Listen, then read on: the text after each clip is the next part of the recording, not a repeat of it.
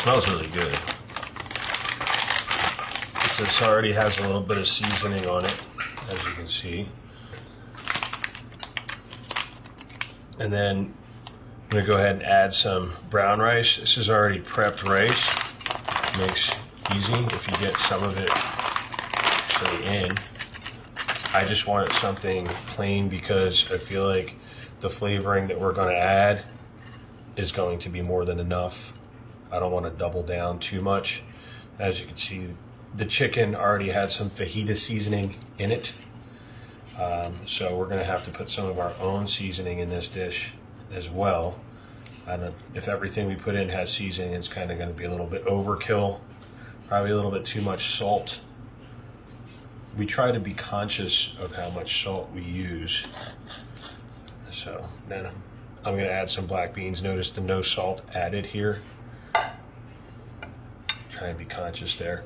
Again, anything in moderation isn't horrible for you. It's the extremes when you're loading up on sodium that leads to some issues. So I'm going to do two cans of these.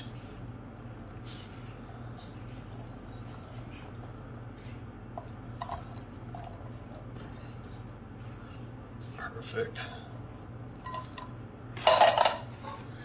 Then we have some fire roasted diced tomatoes here.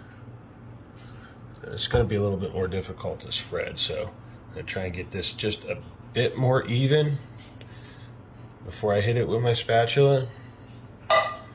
So this is actually the basis for the dish here. Rachel had seen these when we were out shopping and she was like, oh man, I have, I have an idea.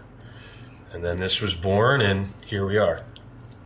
So see that's pretty evenly spread there. And some frozen whole kernel corn. I prefer this over the can because I think it tastes more fresh personally.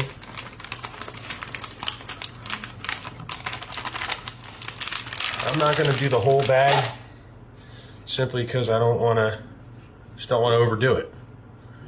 You know, corn shouldn't shouldn't be the dominant one in here. So let's see. That was a 12 ounce bag. I'd say I probably did about two thirds of it.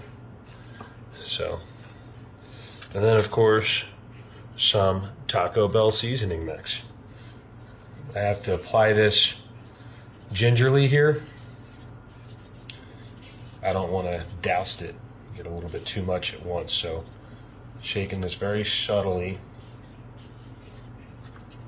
and again, chicken's already seasoned, so we've got the bottom seasoned, top seasoned. This is going to go ahead and soak right into it.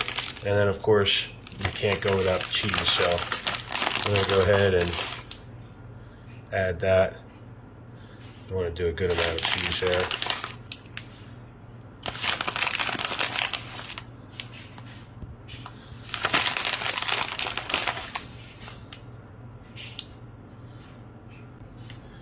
Probably do this just with some, some greens on the side.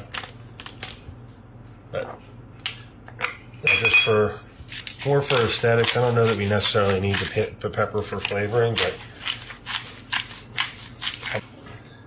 because this is primarily cooked, I'm going to take this, I'm going to put it in the oven for about 15 to 20 minutes. So I'm pretty excited about it. Feels hot. So take a scoop of that here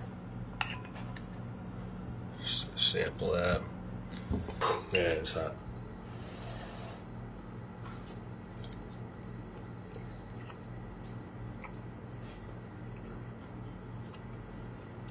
That's really good. It tastes like a fajita in a wrap.